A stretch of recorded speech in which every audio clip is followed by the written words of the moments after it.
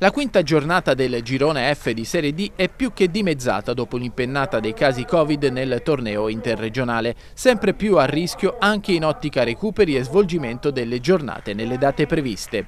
Sono cinque i match che si disputeranno regolarmente domani. Atletico Terme Fiuggi Tolentino, Castelfidardo Castelnuovo Vomano, Città di Campobasso Matese, Monte Giorgio San Nicolò Notaresco e Olimpia Agnonese Vasto Girardi. Dunque sono solamente due le compagini abruzzesi impegnate col notaresco, privo dello squalificato Dos Santos e che prova a mantenere la prima posizione in classifica, considerando che solo una delle due formazioni appaiate, cioè il Campobasso, giocherà regolarmente, mentre l'altra, la Recanatese impegnata a Pineto, ha visto rinviato il suo match.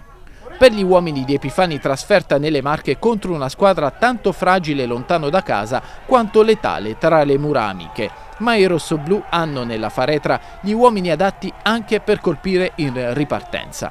L'altra abruzzese che scenderà in campo, il Castelnuovo, sogna di continuare una marcia sorprendente, ma poi neppure troppo, proprio alle spalle del terzetto di testa.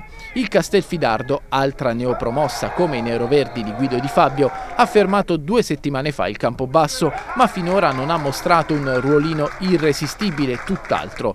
Poi c'è tutta la questione riguardante i rinvii. All'11 novembre, ad esempio, Rietri, Porto Sant'Elpidio e Real Giulianova Cinzia Albalonga. La gara del Fadini non si disputa a causa della presenza di un positivo al Covid-19 fra le file dei laziali. Una settimana più tardi, invece, ci sarà il recupero di Aprilia Vastese, perché le condizioni di un tesserato biancorosso dopo i controlli effettuati in seguito ad un rialzo febbrile hanno dato esito positivo al tampone Covid-19. La società ha attivato immediatamente tutte le procedure previste dal protocollo in vigore ed ha informato l'ASL territoriale Lanciano Vastochieti per attivare i passaggi necessari, con l'esecuzione di altri accertamenti e tamponi a giocatori e staff. L'attività sportiva degli aragonesi intanto è stata temporaneamente interrotta.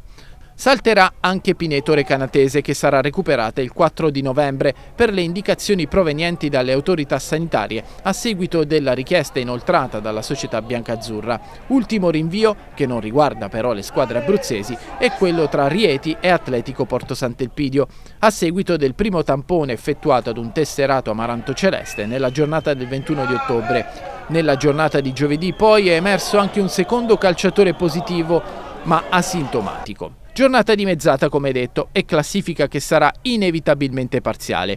Infine gli arbitri. Atletico Terme Fiuggi Tolentino è affidato a Cristian Robilotta di Sala Consilina, Castelfidardo Castelnuovo Momano a Francesco Lo Iodice di Collegno, Città di Campobasso Matese a Leonardo Mastro Domenico di Policoro, Monte Giorgio San Nicolò Notaresco a Flavio Fantozzi di Civitavecchia e Olimpia Agnonese Vasto Girardi a Giuseppe Maria Manzo di Torre Annunziata.